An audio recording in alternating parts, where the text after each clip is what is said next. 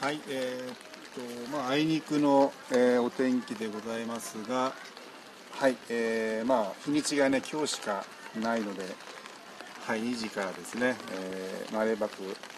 織姫ちゃんのお別れ会の方はやります。はい、えー2時からになりますんで、えーもう今しばらくね、えーお待ちいただきたいと思います。はい、で、おいひみちゃんですね、まあ、この後ですね、あのガイドの中でも話がありますが、明日ですね、明日も8時半には、はい、えートラックがこっち来まして、で、まあ、箱に入ってもらって、で、こまあ、午前中ぐらいには、うん、お昼前ぐらいにはもしかしてうまくすれば、日本平動物園さんの方に、まあ、到着かなとは思います。ですので、ちょっとまあ、あの本当今日がおひみちゃん、ね、動物公園でのおひみちゃんの姿っていうのはまあ最後かなと。でこの後はですね日本大動物園さんの方で、えー活躍していただきたいなとは思います。はいなので、えーまあ、2時からニコ生の方は2時から開始になりますが YouTube さんねちょっと早めに、えー昨日のこともありましたんで、え早めにちょっとやらさせていただきますんで、えご了承ください。なのでもうねあと10分ほどですかね、えーしばらくお待ちいただきたいと思います。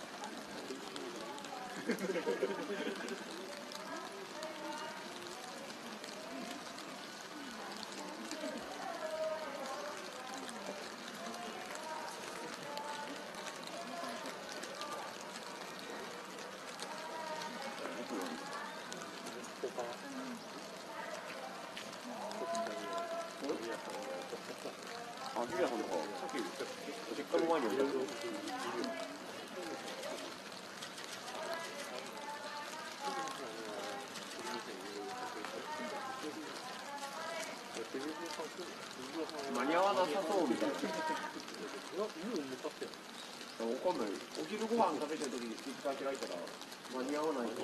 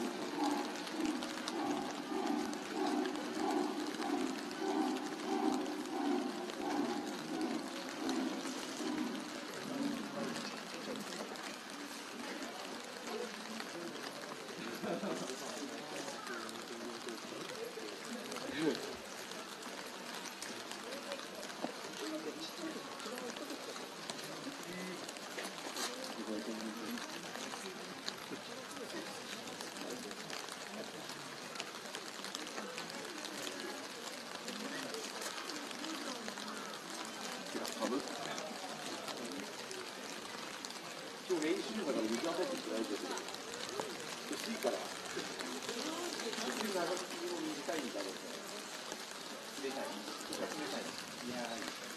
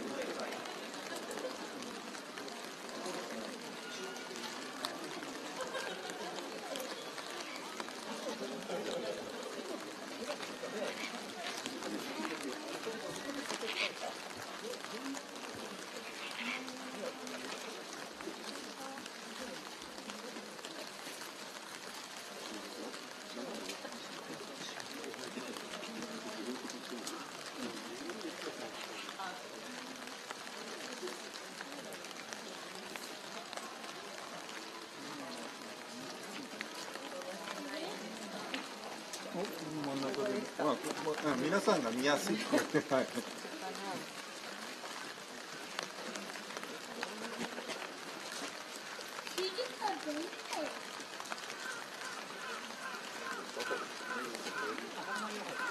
この辺じゃあこの辺にしよう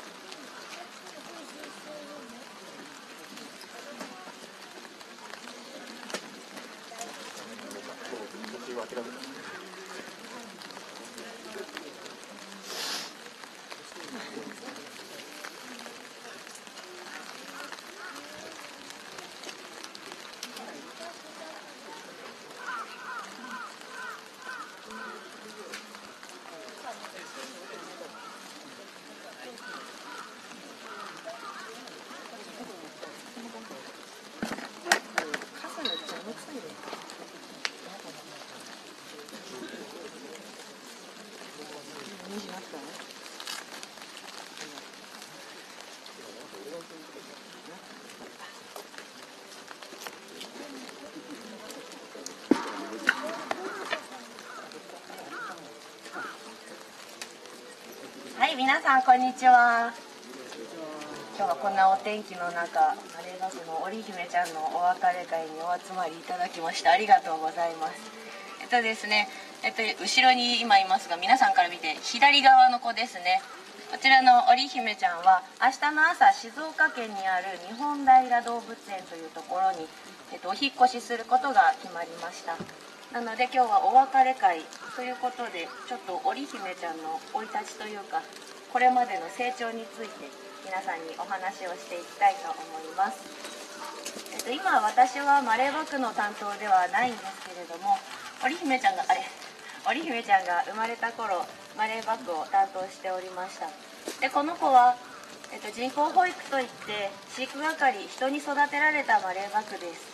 ちなみに隣にいるお母さんのシンディちゃんと隣のお家の方にいる妹のコトちゃん。あとは、えっと、お兄ちゃんに彦星くんという子がいるんですがその子もみんな人工保育で人に育てられたバクさんたちです。お兄ちゃんの彦星くんは昨年広島県の方にお引越しをしてもういなくなってしまったんですがみんなこの子たちは飼育係によって育てられました。ですので、まあ、その時のお話なんかをちょっと詳しくしていきたいと思います。11月頃2016年の11月頃ですねお母さんのシンディちゃんが妊娠をしていることはもう分かっていました。お腹もすごく大きくなっておっぱいも充血してパンパンに張ってはいたんですけれども、まあ、なかなか出産予定日を過ぎても赤ちゃんが生まれてきてくれませんでした。でその時はですね結構最悪な状態といいますかお腹の中でもう赤ちゃんが亡くなってしまっているかもしれないっていうことも考えられましたのでちょっと不安な日々を過ごしてはいたんですが11月の8日ですねいつも通り夕方にシンディちゃんをお部屋の方にこうしまってあげたら見たことのない液体が彼女の陰部から出てましてびっくりしましてすぐに獣医さんを呼びました。で獣医さんもですねこれが破水なのかそれともあんまり良くないものなのかっていうのがすぐには判断できないけど今はシンディちゃんの体が一番なので今日はお部屋全体を温めてストーブをつけてあげて様子を見ようということになりました。この今いるお家の方ですね部屋全体を温めるストーブっていうのがなくてですね床暖房と上からぶら下げるタイプの遠赤外線のストーブがあるだけになってますのでその日だけはそういうストーブをセットして様子を見るということになりました。だいたい時間にして5時過ぎぐらいですかねストーブ持ってあのこの学者の方に私が来たんですがシンディちゃんいつも通り、まあ、ある程度ご飯を食べ終わりましてあったかい床暖房の上にいました。でもいつもすぐ寄ってくるんですがなかなか寄ってこなかったのでどうしたのかなと思ってあのお部屋の中を覗き込んだらその時すでに織姫ちゃん生まれておりました。お兄さんのお写真を出してもらってもいいですかね。こんな感じですよ。本当に生まれて体も濡れたままでしたのでそんなに時間は経っていませんでしたんで結構ちょっと鮮血とかもで生々しいかもしれないんですが、まあこんな感じで一応シンデちゃんのお部屋出産準備として藁をいっぱい引いてあったんですが一部唯一引いてなかったコンクリートのところに織姫ちゃんは産み落とされていました。ですぐに獣医さんを呼びまして様子を見ていたんですがお母さんのシンディちゃんが授乳をする姿が確認できませんでした。動物たちは生まれてすぐお母さんからもらうお乳初乳と言いますがこのお乳にはお母さんからの免疫がすごいいっぱい入ってますんでこれを飲むことによって赤ちゃんの体も作られていくっていう風になっているんですがこの初乳が飲めないとなると正直次の朝までこの子の命が持つかどうかわからないっていう危険な状況だったのとすごく体が小さかったです。なのでこのままだと危ないかもしれないということですぐに人工保育に切り替わることになりました。出産するかもしれないっていうことで準備はしてありましたのですぐこの織姫ちゃんじゃない、えっと、今いるお家の方から何て言うんですかね保育部屋といいますかそっちのお部屋に移動してドライヤーの温風を当てながらタオルで体をこすって体を乾かしてあげながらその時に初めて体重を測りました。その写真がこちらです。下の方に小さく数字が書いてあるんですけど 5540g ま約 5.5kg という大きさで生まれてきました。でこの時すごく良かったのは織姫ちゃん自身にですねちゃんとミルクを飲もうとする意欲があったことです。指を出したら一応吸い付いてきてくれたので急いで子牛用のミルクを作って飲ませました。この夜は一応2回哺乳をしてあげて 150g ぐらいですね。飲み切ってくれました。その後も一応指を吸うような様子は見られたんですけれども結構もう夜も遅くなってきてましたので、まあ今日はこのまま様子を見ようということになりました。この日私はもう泊まる覚悟をしてました。正直夜の間何があるかわからないので一生の部屋に泊まる覚悟はしてたんですけど獣医さんから「あなたは帰りなさい」と。あなたの担当動物はこの子だけじゃなくて他の子たちもいるから明日に備えて今日は一旦帰りなさいと言われましてしぶしぶ帰りましたが一睡もできませんでした一睡もできないままですね、まあ、次の朝を迎えまして誰よりも早く動物園に来て、まあすぐ保育部屋の方に今でも覚えてるのは「おはよう」とかではなく「生きてる?」って言いながら部屋に入ったのは覚えてます織姫ちゃんは私よりも早起きでこの保育部屋で普通に立ち上がってました、まあ、その時もうあここから完全にこの子の人工保育が始まるんだなということで私も気合を入れ直したのを覚えています。で人間と同じように哺乳瓶から普通にミルクを飲んでくれていました。生まれてすぐはですねもうお部屋の中にいたんですけどだいたい生後4日目ですねミルクをあげながらちょっとお外の方に出てみました。お部屋のすぐ外ですね。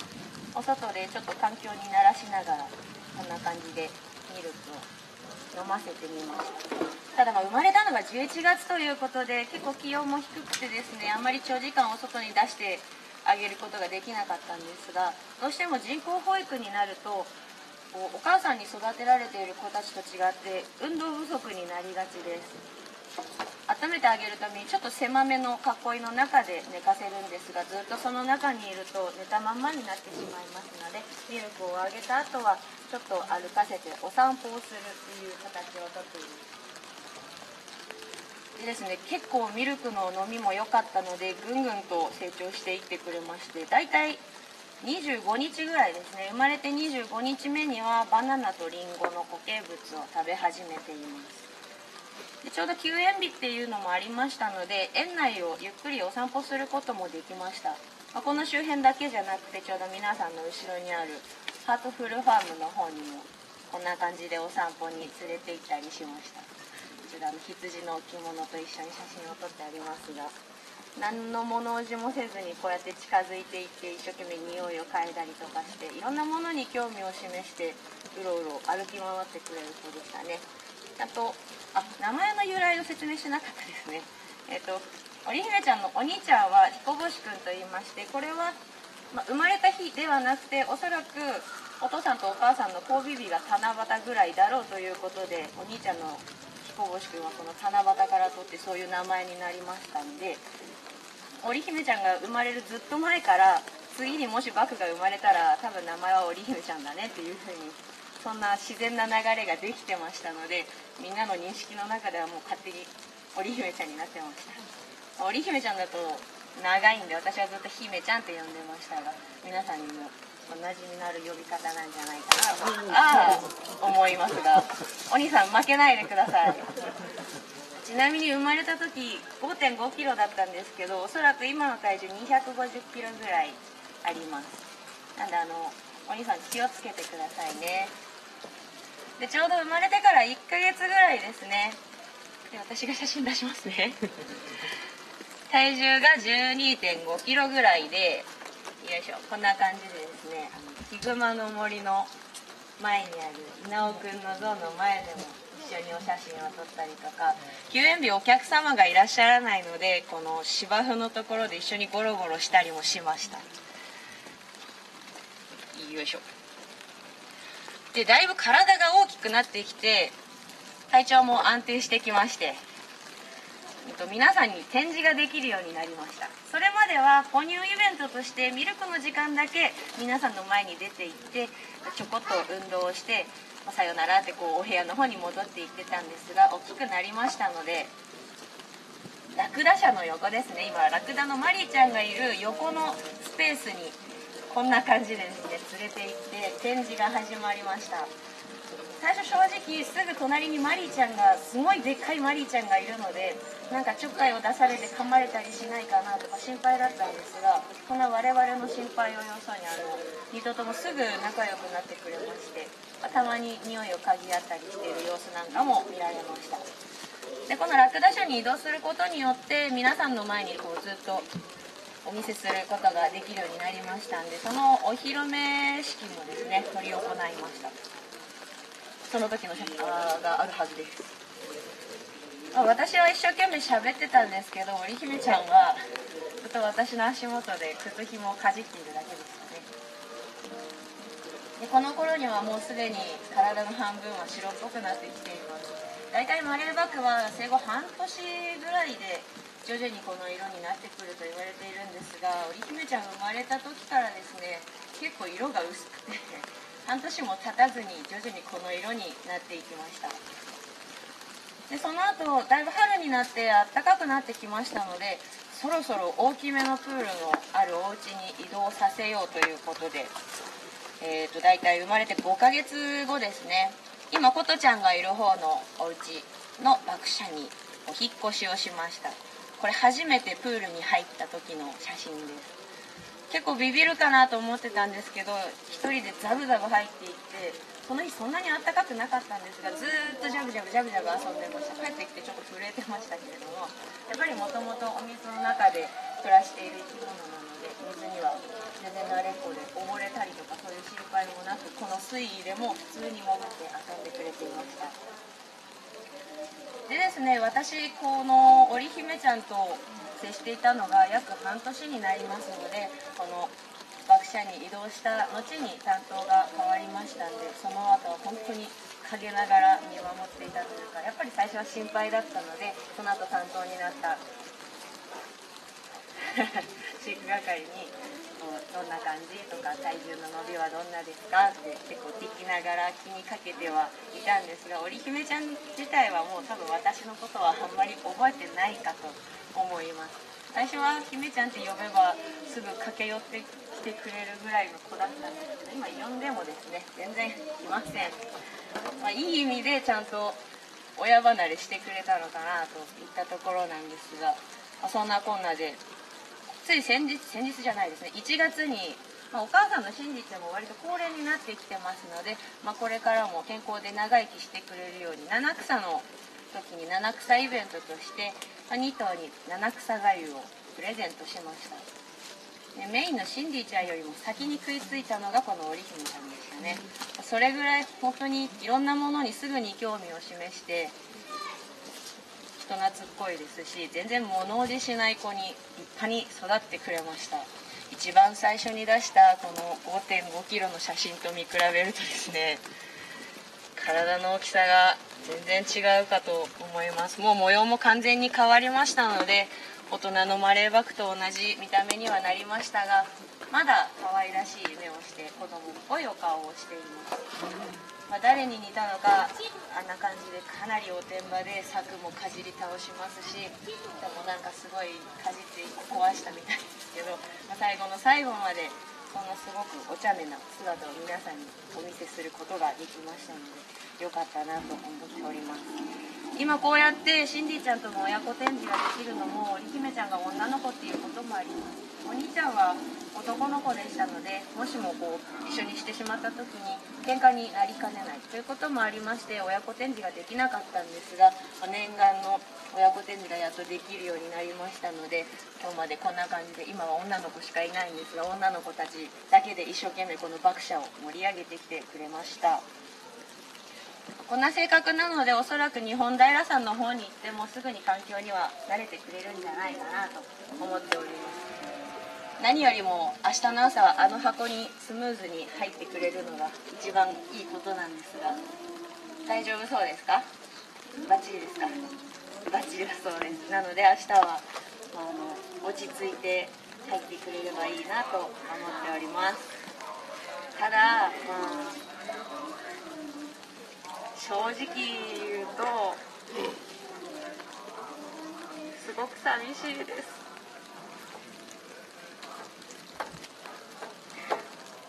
いやすい。ませんね今日泣かないって決めてきたんですけど。まあこの人工保育っていうすごく貴重な経験をさせてもらったのと。あの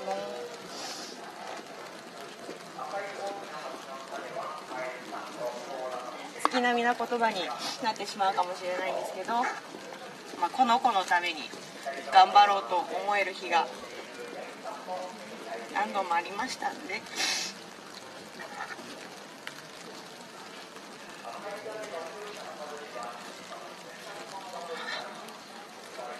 すごく寂しいですが、まあ、嫁入りということなのでいつか織姫ちゃんもお母さんになってくれたらいいなと思っています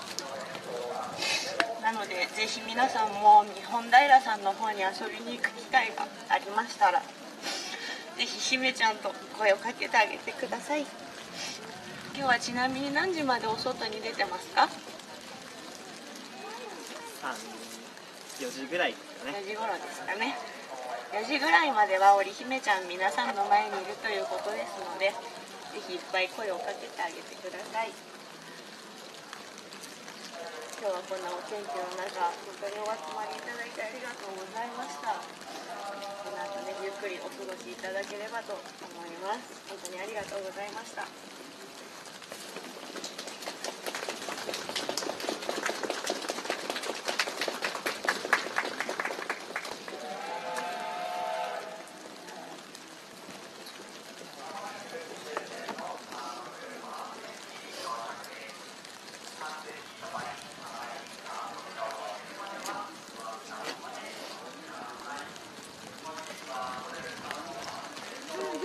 流れはダメですよ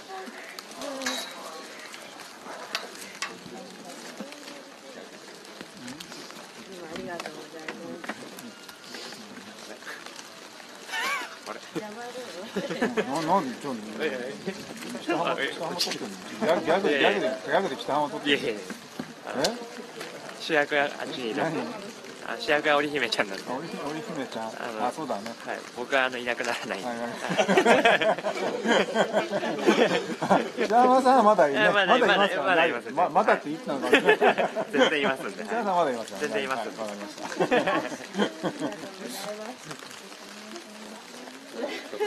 北浜君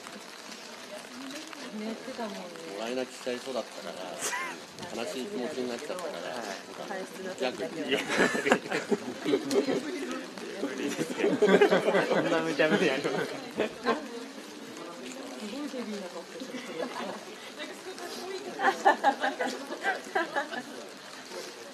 難しいですね。まあまあまあまあまあありがとうございます。写真もいただいて。そうアルバムもらったんです。そんなことないですよ。もういや今日このライブで使う写真どうしようかなと思っていろいろ見てて。見てるだけで泣けてきた。ありがとうございます。はい。どなんか一言で言う？大丈夫？一言どどうも皆さんご視聴ありがとうございました。日本平さんに行ってもぜひあの織姫ちゃんに会いに行ってあげてください。こんな泣き顔配信したくないよ、はい、ありがとうございました。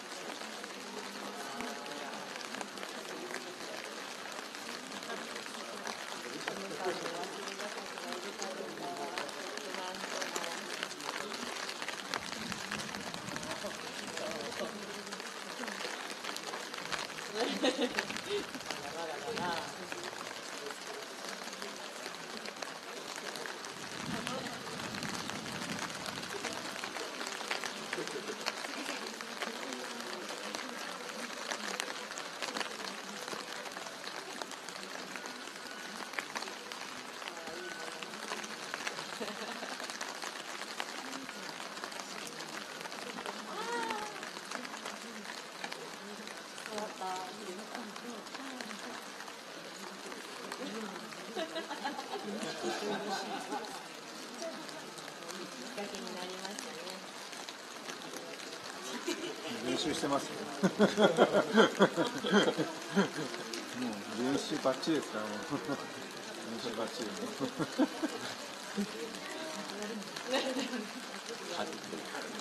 そうかじってもう取ってかじっちゃってね。さっき電話やっててすいません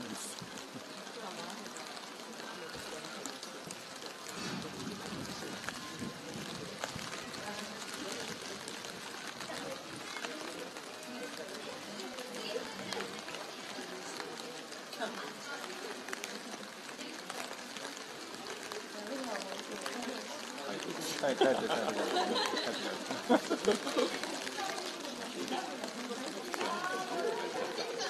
雷だからね、バカ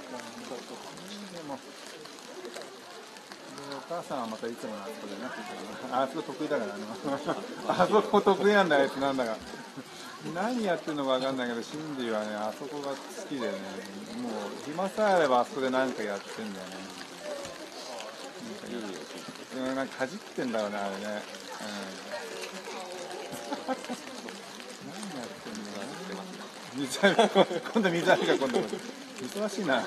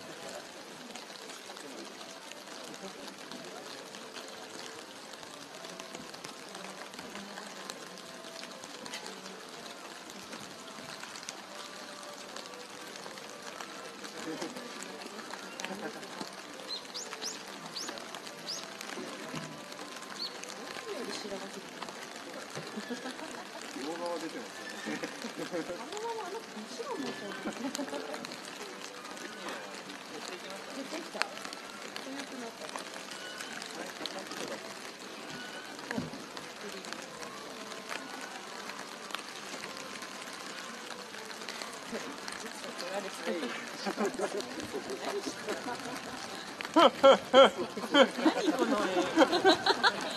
めっちゃ性能いいから超アップになってるちょっと恐怖映像ですよそれふざけないでください。これはもう YouTube では上げられませんよニコ生だけですよ。あのニコ生ですよ。にあの YouTube 見てる方は多分誰だか分かってない人も多分多分いると思います今ので誰だ誰この親父って こんなの何これババカやつはあとかって雨の中一人で来たのどうしたもんなんだなバケ好きなんだね。周りになんかそんなでもないけどカメラ目線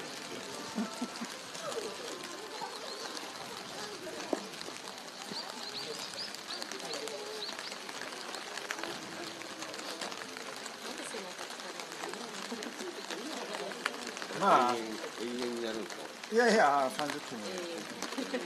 バックほら池があの水位があれだとさ背中そう出ちゃうんで大体あの例えば冬場はずっぽり入んないから夏だと結構こうなるじゃないですかあそこはああなって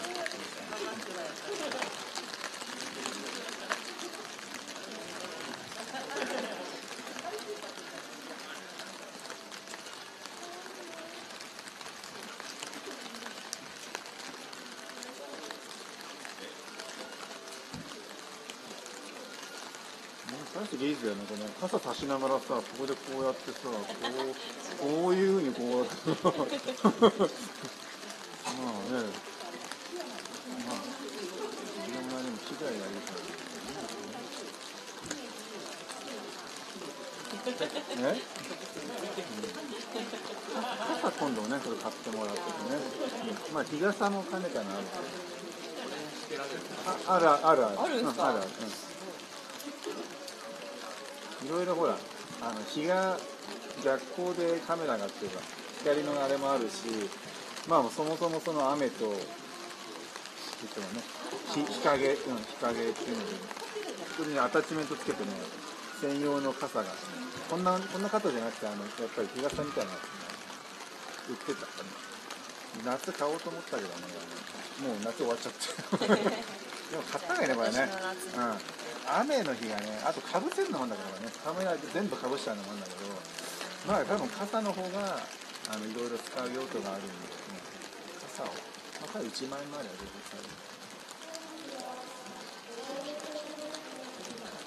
あ、終わっちゃったもん。水生終わっちゃった。水生終わっちゃったもん。何も言わずに終わっちゃった。YouTube はい、どうもニコ生の方も終わってますね。大変失礼いたしまして、ちょっとあの話が長くてすみませんでし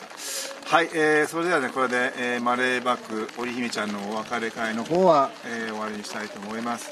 はい、えーまあ、先ほどでもですね、あの工藤さんえー言っていました通り、明日の朝ですね、8時半には、えートラックが来まして、先ほどのあの緑の箱の中に、えー明日の朝ね、織姫ちゃん入って、で午前中お昼ぐらいにはまあ届くかなというねあちらにねあのつとつ到着するかなとは思いますんでよろしくお願いします。はいそれではどうも皆さん、えーありがとうございました。これで終わりにしたいと思います。